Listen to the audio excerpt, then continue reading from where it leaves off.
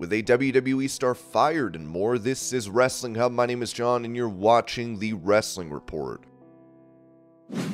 Before we get into the rest of the video, make sure you subscribe to Wrestling Hub and turn on all notifications to stay up to date with everything in the world of pro wrestling. Also, don't forget to follow us on Instagram at Wrestling Hub Official and follow us on Twitter at Wrestling underscore Hub.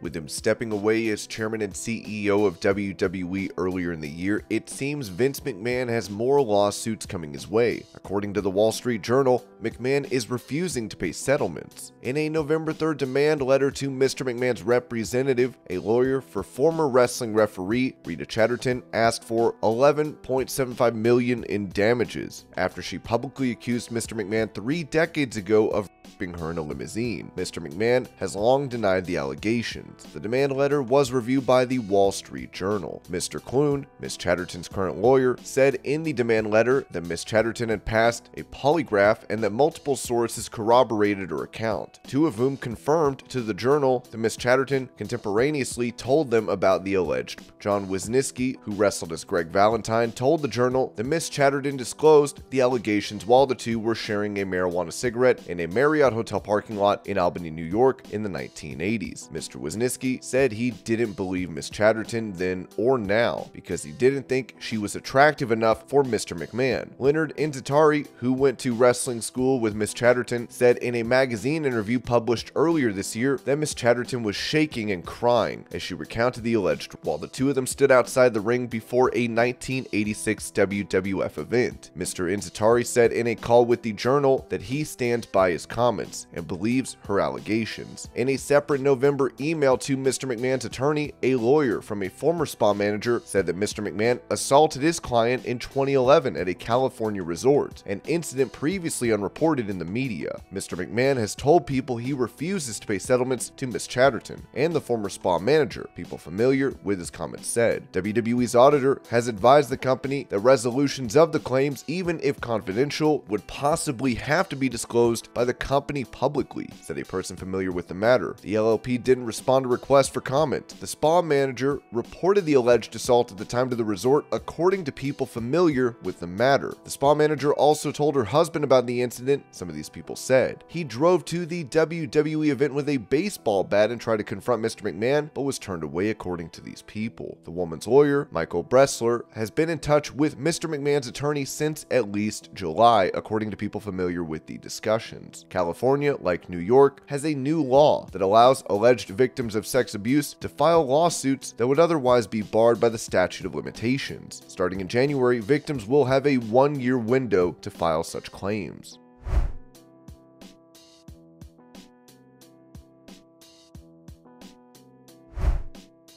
Responding to a story of Vince McMahon intending to make a WWE comeback under the belief that the allegations against him and the investigations would have blown over if he stayed in the company. Sean Ross Sapp of Fightful wrote, Numerous WWE higher ups that I've spoken to in recent months have indicated to us they want nothing to do with that and are happy with the direction. I haven't heard one person there itching for a Vince return. I should state they wanted nothing to do with a Vince comeback we not discussed him telling people that he planned to make one. Done done was the phrase I got often. Going into more detail on this situation, it was reported that Fightful immediately heard from numerous staff and talent within WWE. One WWE talent called the news exhausting and was hopeful that Vince McMahon's WWE tenure was in the rear view, despite them having a positive relationship prior to McMahon leaving. Another said that they were concerned for the talent that got rehired in the event that Vince McMahon were to return. A higher up that we spoke to wasn't near nearly as concerned. Said higher up mentioned that the stock price increased, viewership was boosted, and general morale recovered after Vince McMahon left. It would be a really selfish move for Vince to come back under any circumstances. The reason he left, how business is done since then, it'd be really selfish. But selfish activities are what led to him leaving in the first place. The source said that they did not believe that Vince would return despite having voting power within the company.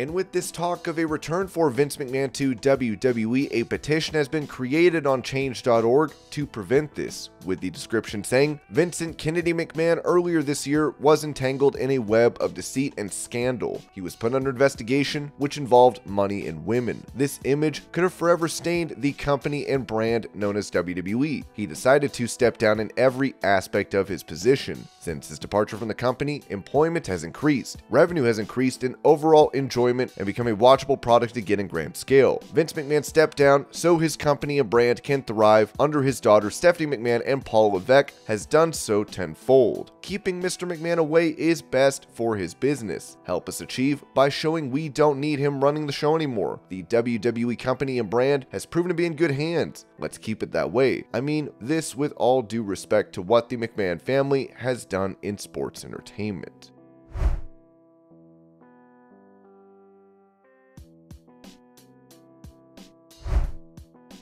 With no recent updates regarding an AEW contract buyout for CM Punk, Ricky Starks would say this about Punk's involvement with the company, telling DAZN, the Punk thing helped. Him saying those things about me really helped. What would have been great was to actually have a match with him. Things were kind of leading up to that, I thought. That's one of the minor things that I'm actually annoyed about is that I never actually got to have a match. It's not to stroke my own ego, but it's about iron really sharpening iron. I'm the type of person who would be able to benefit from that in terms of excelling in my talent. At the time where Hobbs turned on me, I think we were already there, the crowd reacting favorably and the momentum, and it was already a rolling boil. Things had to have happened in that sense. Otherwise, to go another six or eight months and really just floating in limbo would not have been very beneficial to me, I don't think. I thought Punk, William Regal, these people that came in were great additions to the locker room. Great additions in terms of what they provided. I know personally I was able to talk to Punk a lot and get help on my promos and things like that. Same with Regal because I've known him for so long. It was kind of a blow that both of these guys left. I am hopeful that down the line I do get that matchup. If not, I get it. That's how the business is. But it would be nice. It would be nice to be able to work with somebody of that caliber because I've yet to work with, besides Sting, I've yet to work with somebody of such a high caliber. And the Sting match was a year or two ago.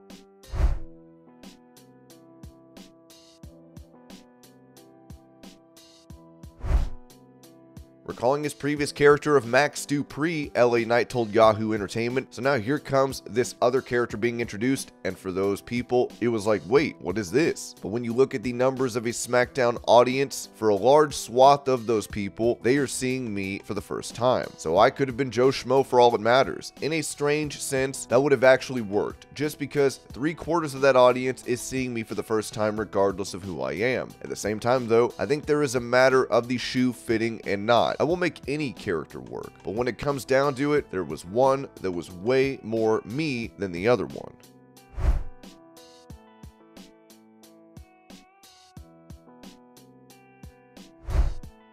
With him having issues with his shoulder, MVP would post a video update regarding his injury. First of all, I'm not typically an AM kind of guy, you know. However, got priorities. My shoulder's a little jacked up. It's been messed up for a while since uh, Hell in a Cell pay per view and Bobby Lashley ran me into that post and I landed on my shoulder. See, I'm tough, so I just pushed through it. However, it got to the point where I got to get an MRI because something in there is torn. A labrum rotator cuff. We don't know, but we're about to find out.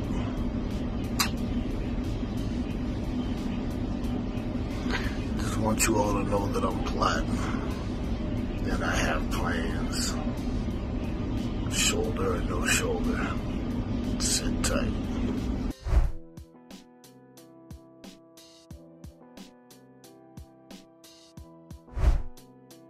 While many have been brought back under the Triple H regime, it seems there could be some issues as WrestleVotes reported. I'm told a handful of talent brought back in the rehiring wave over the summer have underperformed and severely underwhelmed Triple H and others since returning to the company.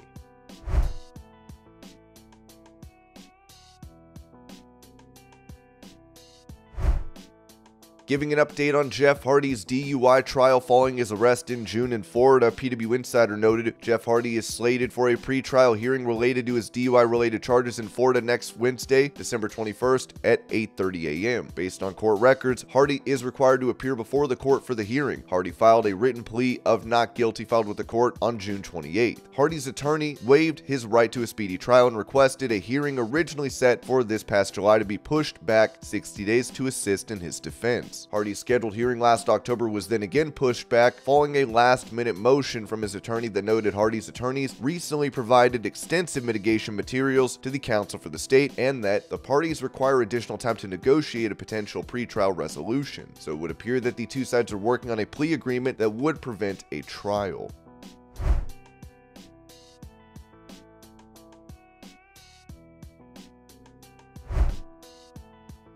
After her shocking loss of the NXT Women's title, many were thinking we'd see a main roster return for Mandy Rose, but it seems she is no longer with the company, with it reported that Fightful Select has learned that Mandy Rose has been released by WWE. WWE officials felt they were put in a tough spot based on the content she was posting on her brand Army page. They felt like it was outside of the parameters of her WWE deal. This also comes after photos and videos from her exclusive page leaked and were circulating on Twitter, which led to the star trending. Given she was under a main roster contract on NXT, Rose will likely have a 90 day non compete clause. Dave Meltzer of the Wrestling Observer said, There's a lot to the Mandy Rose firing today, and the title change last night was a last minute decision based on the fact she was getting fired and not the original plan. Bryan Alvarez would add that Mandy Rose was very much caught off guard by the firing. Rose's faction mate Jacy Jayne would react by posting broken heart emojis. Fans would also react to the release online as they wrote, Shocking. For those want to blame WWE, they do have a policy there. She broke the policy. AEW will hire her if that's why she chooses to go. He doesn't care what kind of baggage you have. I like Mandy Rose, but she's not a victim. Well, they could have just suspended her for a few months instead of firing her. It goes beyond that. It was explicit stuff. Nipples, all that jazz. Bad luck for the company to have someone doing that. I've never seen such a sudden fall like this before. And this was your Pro Wrestling News Update. I hope you're all having a great day. Thank you so much for watching, and I'll see y'all later.